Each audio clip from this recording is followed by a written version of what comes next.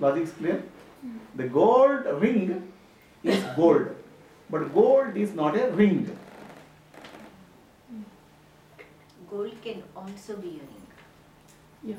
But gold can be many more, no? Yeah. So basically that's what it is, that the Gold is more than a ring. is consciousness. World is consciousness, but consciousness is not world because consciousness is But more than the world. consciousness can appear as the world. Consciousness appears as a world, but then just world is not consciousness. Yeah. It's many, it's much more. It's much more, no? It can take infinite forms. Oh. So that's why consciousness, world is consciousness. Con- Wave is water, but water is not wave. Water is also, can also be the wave. Water can take the form of wave, but water takes many, many forms. Forms. Right? But just to call water as wave is unfair. Yeah. Correct. Yeah. One of the forms. One of the forms. Infinite, can take infinite forms. Infinite so forms. don't restrict it to the finite form. Finite form. Or rather, we don't call a finite form as the infinite Reality. reality. Okay. See, there is nothing other than consciousness.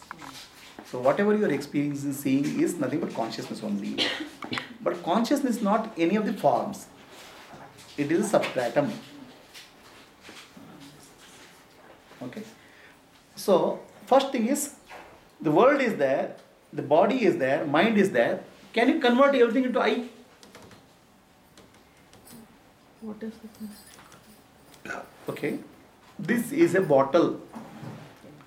So bottle is nothing but a thought in my mind. Okay. And where did the thought appear? In consciousness. It appeared and disappeared in consciousness. So, so what was there all the time?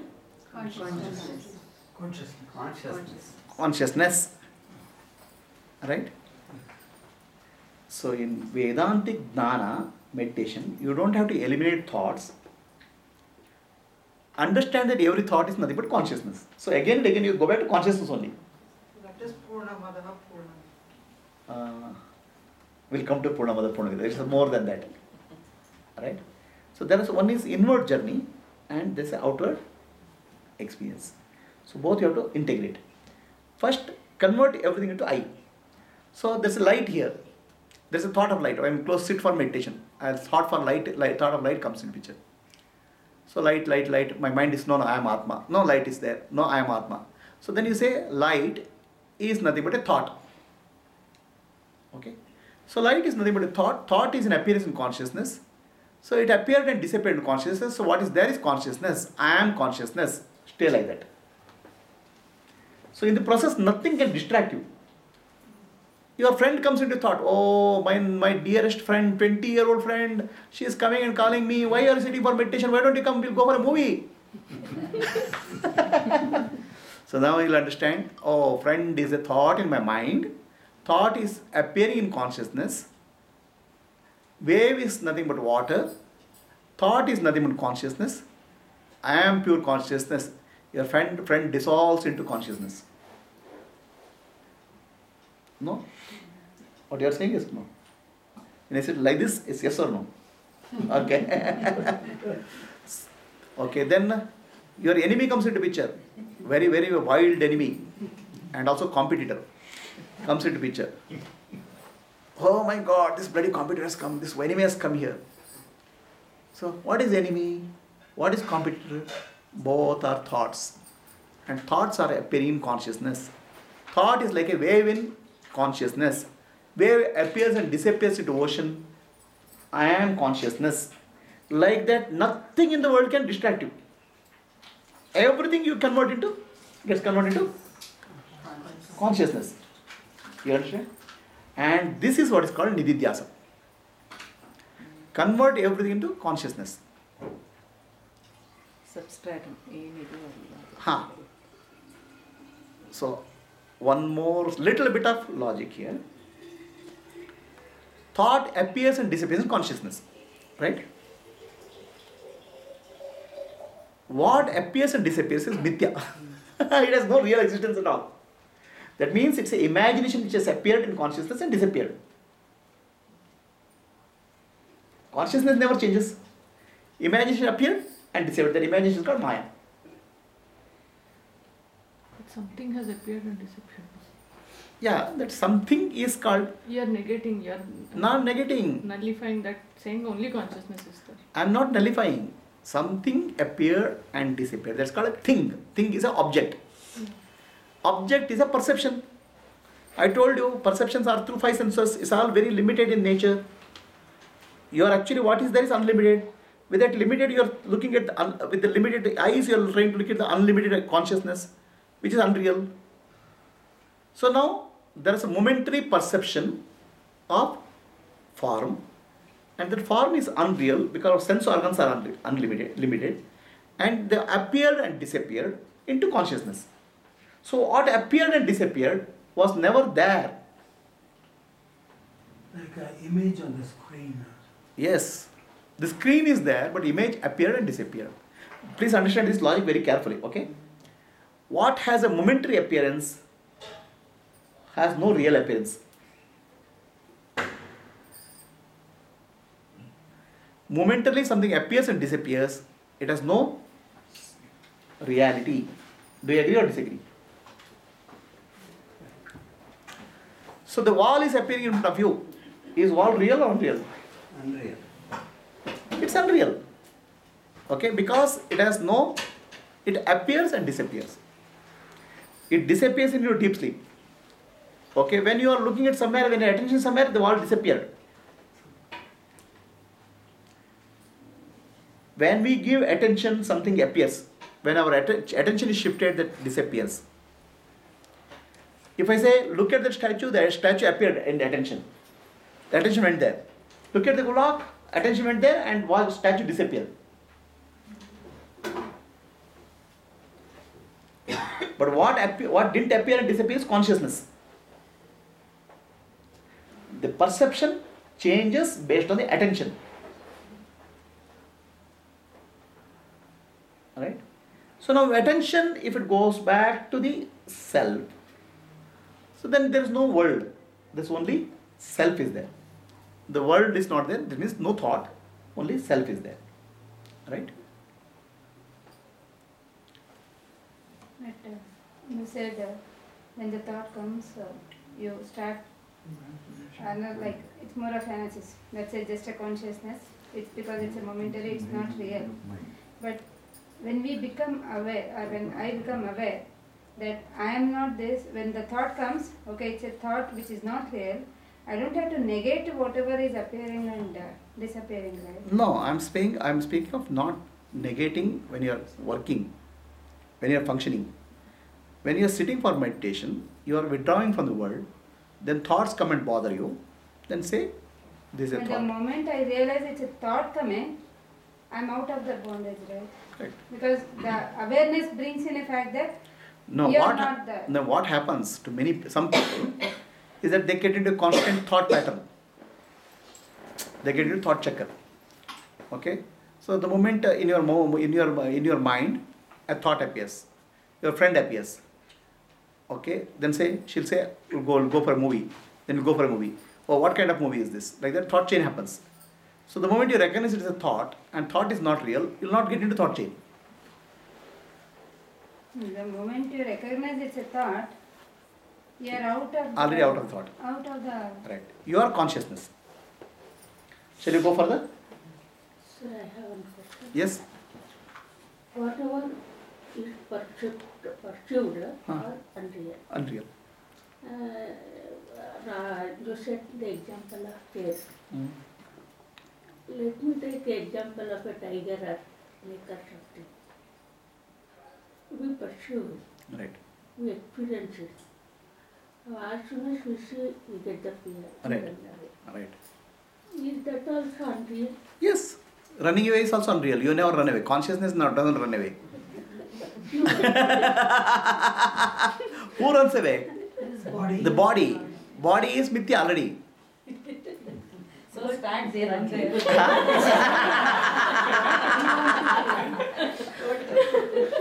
Not the body rope and perfume snake. You see the real snake. Correct. See, what you are seeing the world, you are seeing the world, right? The world is nothing but consciousness. Okay, but you're seeing is a world. There's never a world actually. It's a consciousness. There's never a snake. There's a perception. Now you give example of a you see a snake and run away, and who is running away is body. Body is also mithya, as much as snake.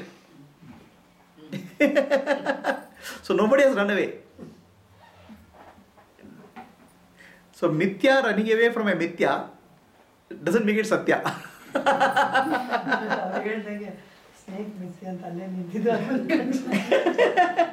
ಹೌದು but ನೀವು ಸಾಯೋದು ಮಿಥ್ಯ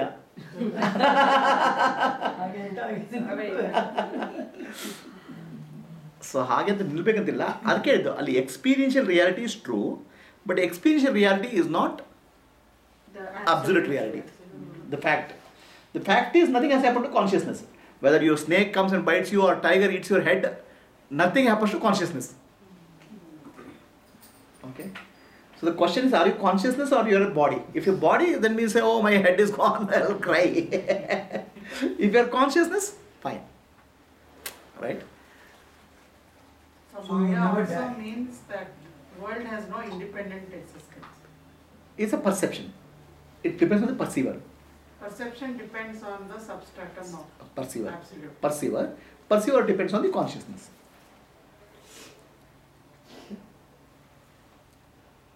Is this much clear to all? So, what happens is many meditation practices, you try to stop the thoughts. Because world is nothing but thought. Let me stop the thoughts. Stopping the thought is not a solution. Okay? Meditation means forcibly, forcibly stopping the thought is not a solution. Understanding the nature of thoughts, thoughts are rising and falling into consciousness, thoughts are mithya, I am satya. Then what will happen? The thoughts become unreal. In that unreality, thoughts will not drag you or bother you. Okay? In fact, thought E thought always points to a consciousness. You welcome, start welcoming thoughts because the thoughts will always, any thought comes, oh, this thought is coming, it's coming from consciousness, I am consciousness. So for a Jnana yogi, thoughts are not a obstacle, thoughts are welcome Pointers. welcome pointers. For other other yogis, different types of yogis, they are afraid of thoughts. Okay, they are trying to avoid thoughts.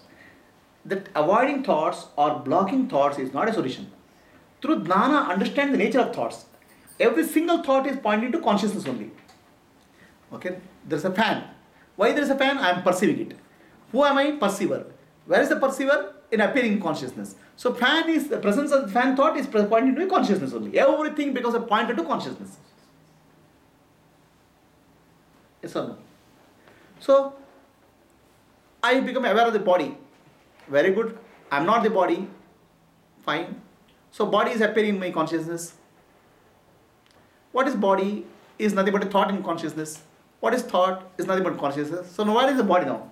Only consciousness is there. So easily you can go into pure consciousness. Is it clear to all? Hmm? So it's like a wave and an ocean. The waves keep rising and falling. The rising and falling of the wave is nothing but manifest consciousness. There's nothing other than consciousness. There's no matter actually. Everything is manifest consciousness. Manifest consciousness appears and disappears. Whereas the substract and pure consciousness doesn't change. The pure consciousness or I is like water. I am is like a ocean. Any thought is like a wave.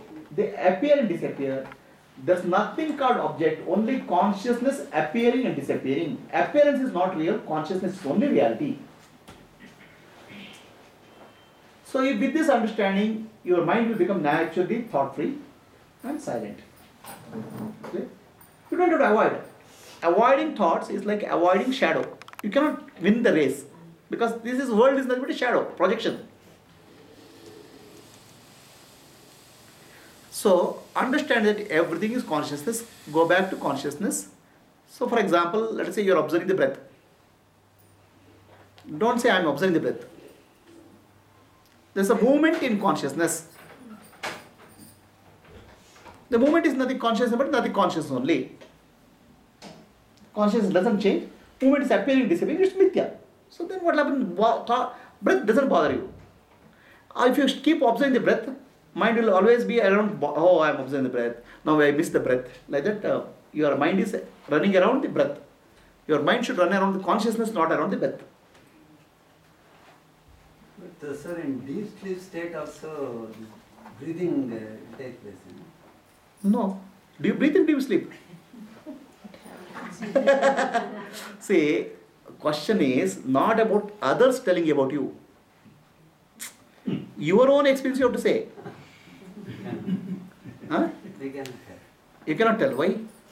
we cannot experience it deep. So this is please understand everything is I have to speak from my direct experience. Now she says uh, she she comes and says in your deep, deep deep sleep you are breathing. She says, but when did she appear? When I woke up. right? She is as much part of Maya as much my as my body is. In your dream, you met five thousand people in a uh, train. How many people are there? They're all part of the dream reality. All people sitting here are part of the dream reality called Maya. None of them have reality. All are consciousness. They appeared in consciousness, disappeared in consciousness. Huh? As long as I experience, it is true. The moment I stop experience, it stops. Ah. Ah. You are, when you are experiencing, it is untrue. but you think it's true, that's a bit Maya.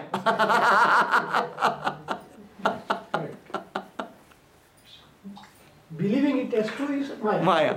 Ah. Not, none of the experience is real. All are mithya, appearing and disappearing. Only Satya is consciousness. But still existence is there, Sat. Existence is Sat. When you are with the, when you, you can say it now. In deep sleep, can you see, speak something about existence? So existence also spoken in in mithya. That's why when you say Sat Chit Ananda, it is about Saguna Brahma. Parabrahma, I can't say Sat Chit also. What will I say? No, that also you say in the Conscious state. in conscious state only, no? So about the absolute reality, what will you say? You will only say in terms of relative reality, Satchit Ananda. It's okay, it's close, but that is not what is what is there. Okay, we'll break for a few minutes, have a cup of coffee or tea, then we'll continue.